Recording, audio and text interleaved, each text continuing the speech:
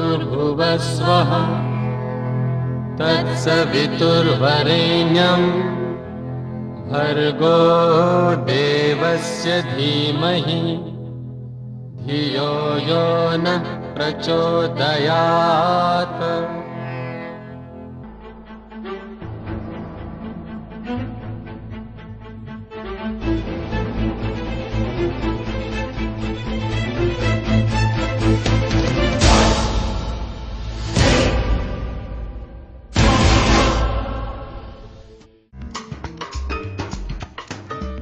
आज की खास मुलाकात में आज हम आपको दिखाने जा रहे हैं सारण जिला अंतर्गत परसा क्षेत्र के एक ऐसे शख्सियत को जो परसा जैसे क्षेत्र में रहकर भी अपने नए नए सोच और हमेशा कुछ अलग करने की चाह के लिए जाने जाते हैं। और इनका नाम है डॉक्टर सुनील कुमार। ये जेपी यूनिवर्सिटी से पीएचडी कर रहे हैं और लगातार सन 1999 से परसा स्थित अपने पैथोलॉजी सेंटर संतोष जाँच घर के माध्यम से यहाँ की जनता का सेवा कर रहे हैं। इस पैथोलॉजी सेंटर की खास बात यह है कि यहाँ किसी भी रोगी को हृदय से सहानुभूति और स्पष्ट परिणाम मिलता है। किसी भी गरीब रोगी को आर्थिक दृष्टिकोण से क्षति न हो तथा आपातकालीन स्थिति में भी डॉक्टर सुनील कुमार का सराहनीय योगदान रहा है। इसलिए यहाँ के लोग, इन्हें भाई, दोस्त, यहाँ तक कि अपने परिवार का हिस्सा मानते हैं। संतोष जाँच घर इसलिए भी प्रसिद्ध है, क्योंकि यहाँ अत्यंत ही सुरक्षित ढंग से ब्लड को इंजेक्ट किया जाता है, तथा खुद डॉक्टर सुनील कुमार माइक्रोस्कोप से संबंधित जाँच करते हैं।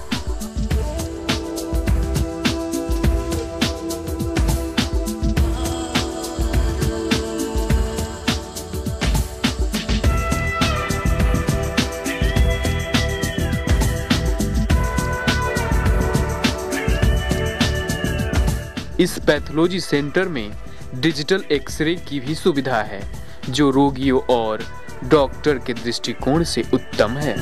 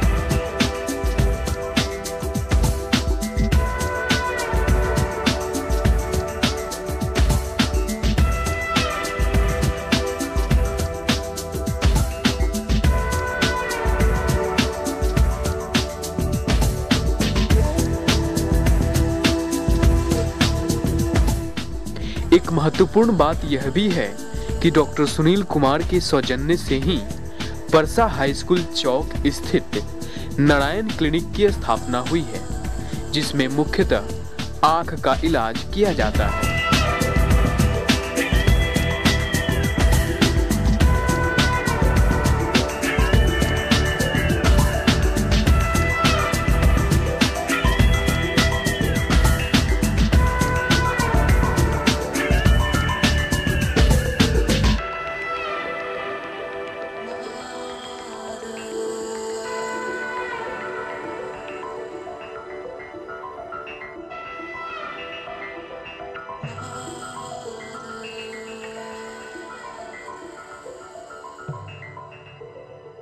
जाँच और एक्सरे ईसीजी के अलावा एक आँख का मैं हॉस्पिटल खुलवाने का तत्पर हूँ।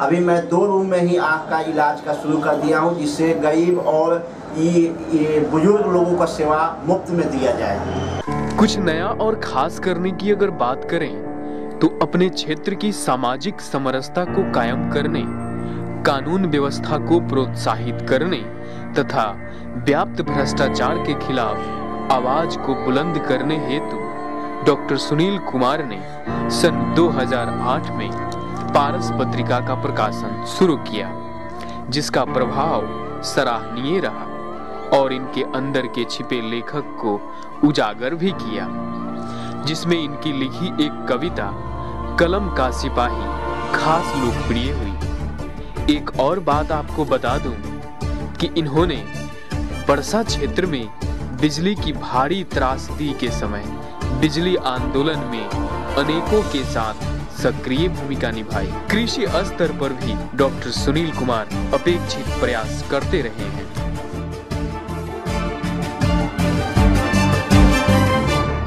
आम का पेड़ है सगवान है और मोहगनी कहते हैं जो बहुत कीमती लकड़ी होता है। मोहगनी? हम्म, अच्छा। लगाए तो थे 120 पौधा। हाँ हाँ। लेकिन अभी लगभग 40-50 मोहगनी बचे हैं। और सोलह ठो आम बीस बाईस आम है।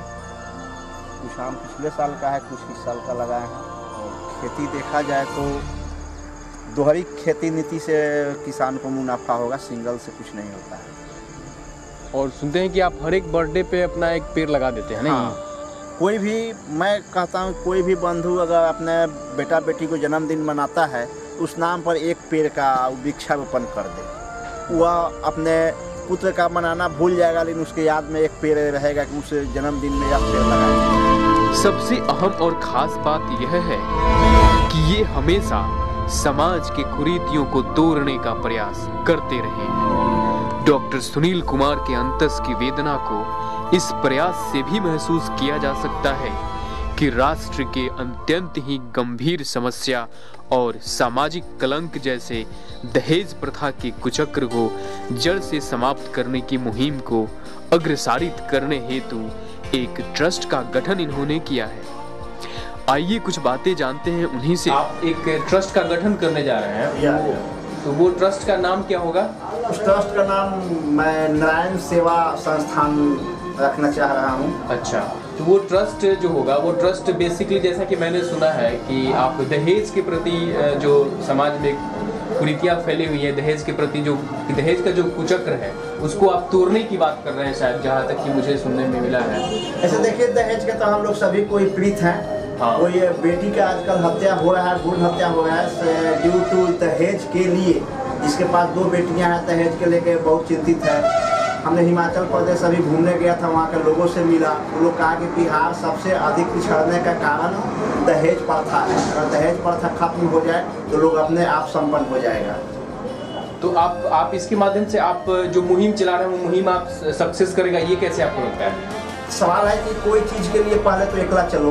पहले हमने यह शुरू करने जा रहा है इसमें देखिए कितना साथी युवा नया बुज़ुर्ग इसमें आ रहे हैं कि दहेज मुक्त समाज का एक निर्माण किया जाए।